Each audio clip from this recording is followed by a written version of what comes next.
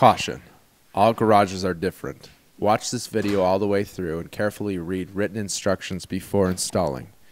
If you are unsure or uncomfortable with installing this product, contact a structural professional.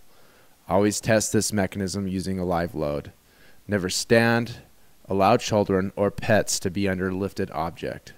Misuse or improper installation of this product can result in serious injury or death. Follow all safety rules and regulations of tools and ladders while installing this product.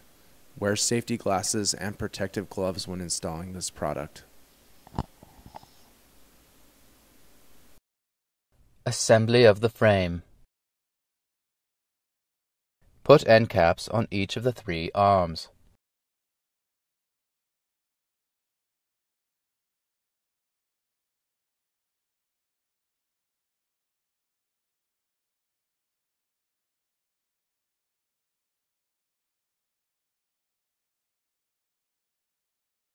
Depress the spring button and insert the front arm. First hole for JK 4-door Jeeps. Second hole for TJYJ CJ Jeeps. Third hole for JK 2-door Jeeps.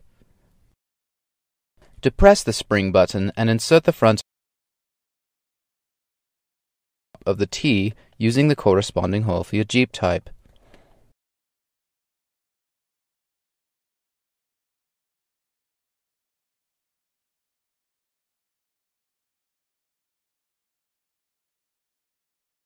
Insert the remaining bar, we will call the bottom arm, on the bottom of the T to form a larger T. Depress push button and slide arm into second hole position.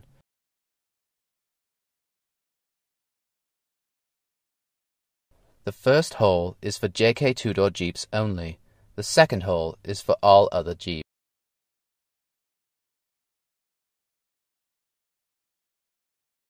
Insert J-hooks and thread on hooks 3 threads past top of nylock nut. Insert J-hooks and thread on hooks 3 threads past top of nylock nut. Come along.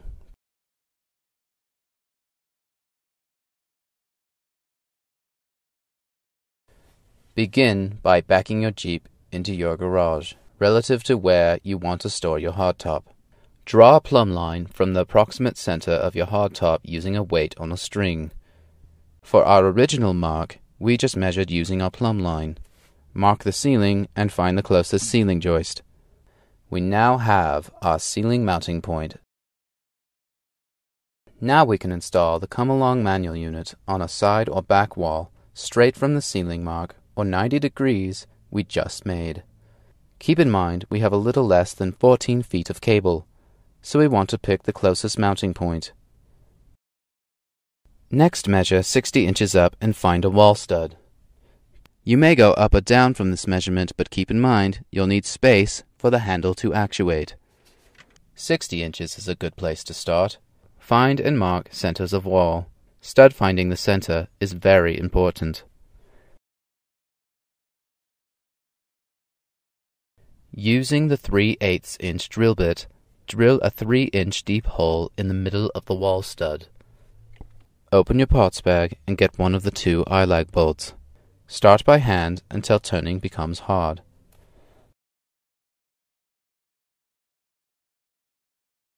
Then use a large screwdriver or equivalent to screw lag bolt in until it is almost at the base of the eye. Install the handle on the come along. Clip the safety claw hook into the wall eyelag. Remove sear clip from pulley pin. Remove pin from pulley assembly and set aside pulley, sear clip, and pin. Find a ceiling stud above where you're going to lift your Jeep top. Use the empty pulley assembly as a template to mark drill holes. Drill 1 8 inch pilot holes then secure to the stud using the screws provided. Put the line in the bracket. Replace the pulley, pin, and sear clip. You may need to squeeze the sear clip gently before installing. Caution! Make sure the sear clip retains tension and is tight. Familiarizing yourself with the come along.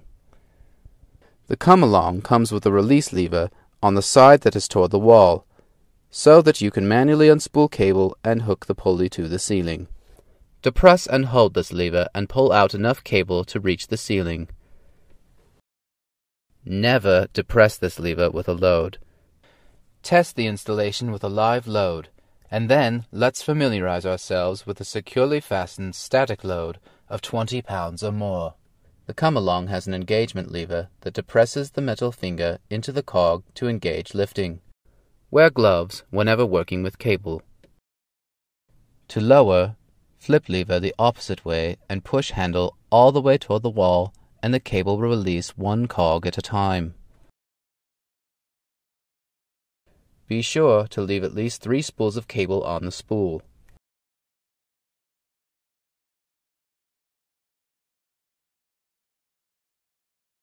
Balancing using the lifting blade.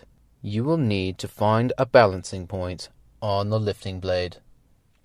Below is an illustration of good starting points, depending on Jeep type. Please note these are starting points and each top configuration is different.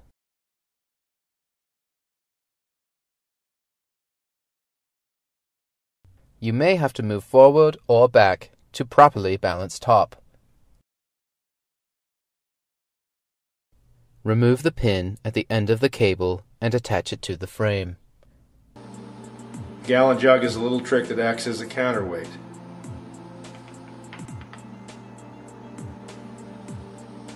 The operator removes any attaching hardware holding the top to the Jeep body. Now lower the frame to the top of the Jeep and attach the hooks.